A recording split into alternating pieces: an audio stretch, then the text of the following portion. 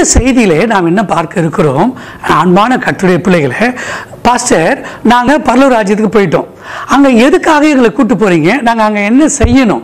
அது எங்களுக்கு தெரிஞ்சால் நல்லா இருக்குமே. இப்போ உங்களை வந்து யாராவது ஒருத்தவங்க ஒரு அயல் நாட்டில் ஒரு வேலைக்காக கொண்டு போகிறாங்கன்னா உங்கள்கிட்ட இருக்க வேண்டிய தகுதி என்ன? உங்கள்கிட்ட இருக்க வேண்டிய திறமைகள் என்ன? உங்கள்கிட்ட என்ன எதிர்பார்ப்பாங்க?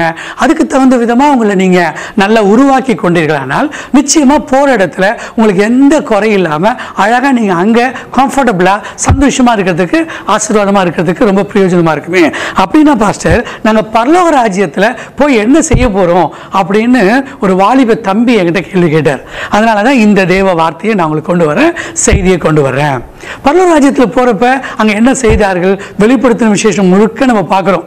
நிறைய வசனங்கள் வார்த்தைகள்லாம் இருக்குது. அதில் முதல்ல வெளிப்படுத்தின ஐந்தாம் அதிகாரம் பத்தாம் வசனத்தில் பார்த்துட்டா எங்கள் தேவனுக்கு முன்பாக எங்களை ராஜாக்களும் ஆசாரியர்களுமாய் ஆக்கினீர். நாங்கள் பூமியிலே அரசாளுவோம் என்று புதிய பாட்டை பாடினார்கள்.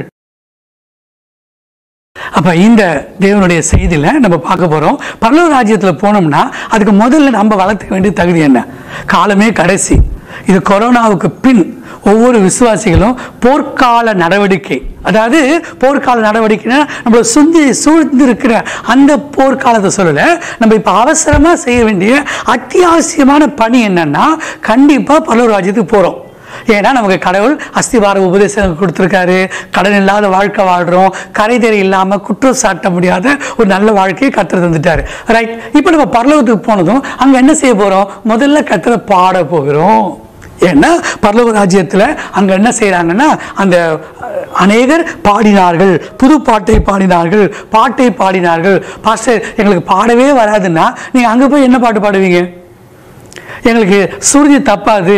சில பேருக்கு கையில் மை கொடுத்தா தான் பாட்டே வரும். இல்லை கத்துடைய பிள்ளையே கத்தர் எனக்கு நன்மை செய்தபடியால் நான் அவரை பாடுவேன்.